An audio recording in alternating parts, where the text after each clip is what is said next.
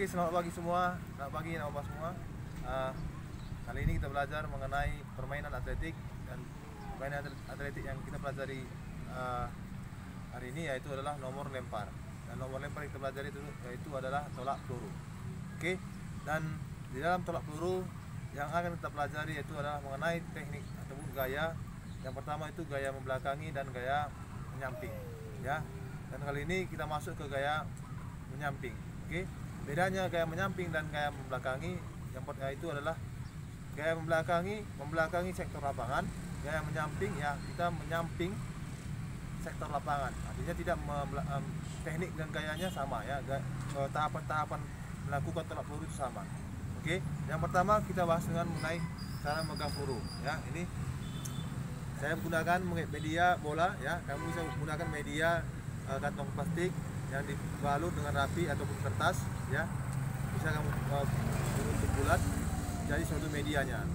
Kemudian yang kedua uh, bisa dengan bola plastik ataupun menggunakan bola takraw ya. Bisa menggunakan bola takraw medianya. Jadi medianya bisa digunakan mana saja.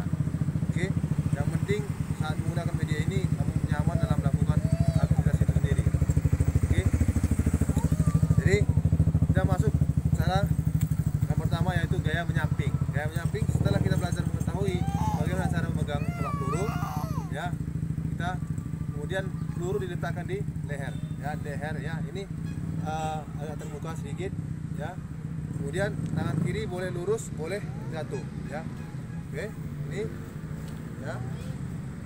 Setelah ini, uh, maka ada fase kaki kiri dilangkahkan, kaki kiri langkahkan, ya, belakang setelah itu putar ya. Putar ya. Ini gak putar. Setelah fase putar ya baru fase tolakan fase tolakan ya. Fase tolakan ini sambil dibantu dengan kaki kanan melangkah ke depan. Ya artinya untuk membantu jauh tolakan peluru itu sendiri. Jadi harus dibantu oleh tolakan daripada kaki kanan. Oke? Jadi lihat ya Bentar. ya terus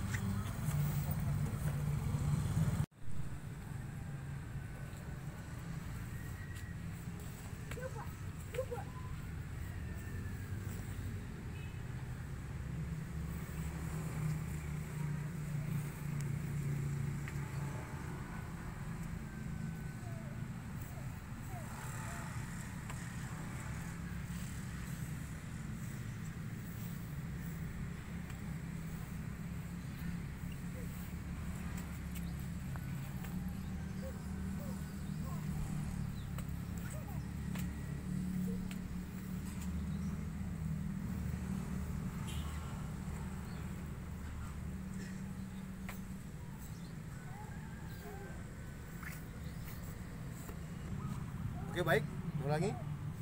Ya dari sikap ini ya. Kemudian kaki kiri dilangkahkan ke belakang ya. Tangan kanan tangan kiri boleh lurus ya. Boleh jatuh ya. Kemudian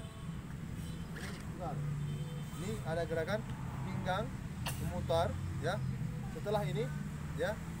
Ini badan menghadap ke sektor lapangan menghadap sektor lapangan sambil menolak sambil menolak kemudian kaki kanan dilangkahkan.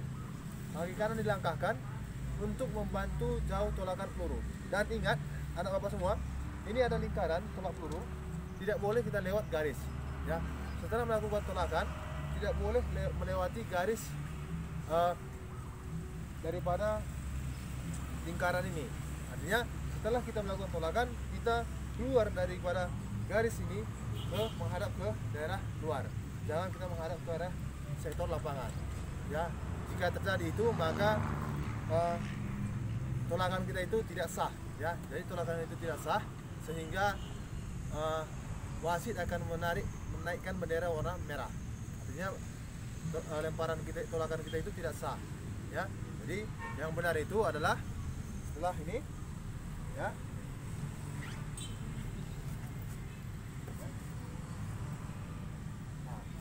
Kemudian setelah melakukan tolakan, ya peserta ataupun si atlet itu dia akan keluar daripada dari samping lingkaran itu sendiri keluar dia dengan daerah yang sudah ditentukan. Kemudian wasit nanti akan mengukur mengukur dari pada lingkaran itu sampai ke jatuhnya pertama bola ataupun jatuhnya pertama peluru. Jadi eh, tercatat jarak tolak peluru itu di mana jatuh pertama. Bukan berhentinya ya tapi jatuh pertamanya peluru itu di situlah nanti diukur ya. Jadi dari sini diukur dari sini ukur sampai ke sana. Ya itu dia mengenai gaya menyamping. Jadi bapak rasa eh, dalam teknik eh, tolak peluru gaya menyamping ini kamu sudah memahami bagaimana cara melakukannya. Intinya medianya bisa digunakan apa pun ya. Medianya apa pun baik dia kantong kresek ya. Bola ya. Bola kecil dan besar itu tidak ada masalah. Oke? Eh, terima kasih buat pembelajaran kita pagi hari ini.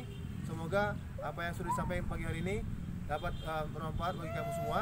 Dan juga eh, kamu juga paham apa yang menjadi eh, topik pem- pembelajaran kita pada hari ini yaitu tolak peluru gaya membelakangi. Gaya, gaya menyamping dan gaya membelakangi. Oke? Terima kasih. Sampai jumpa. Terima kasih